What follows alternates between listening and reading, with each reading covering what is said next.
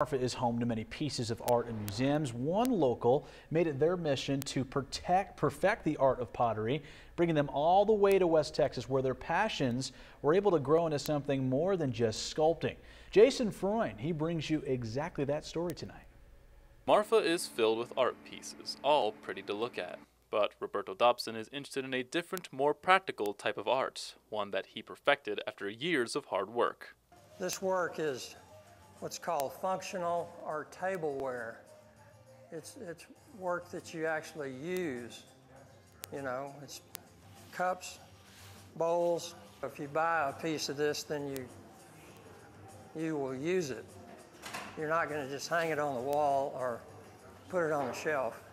A successful dentist, Roberto and his wife sold the practice to pursue other dreams. So they moved to Alpine to attend Sul Ross University, which is where a mutual love for ceramics was discovered.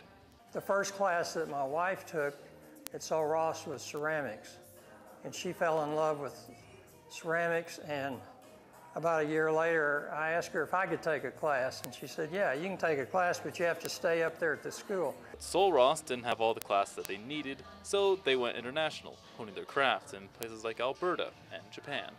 We actually did that four times.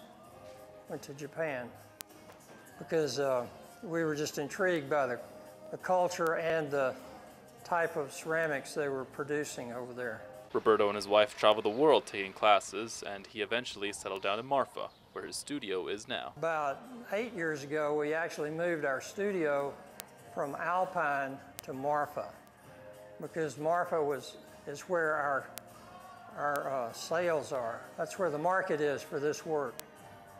And so uh, we're very happy to have a first-class ceramic studio here in Marfa. Marfa has become a base of operations where he can sell his creations, and there are plenty of galleries to sell from in the town. And it's a town that he's going to stay in for quite some time after years of traveling the globe and perfecting his style.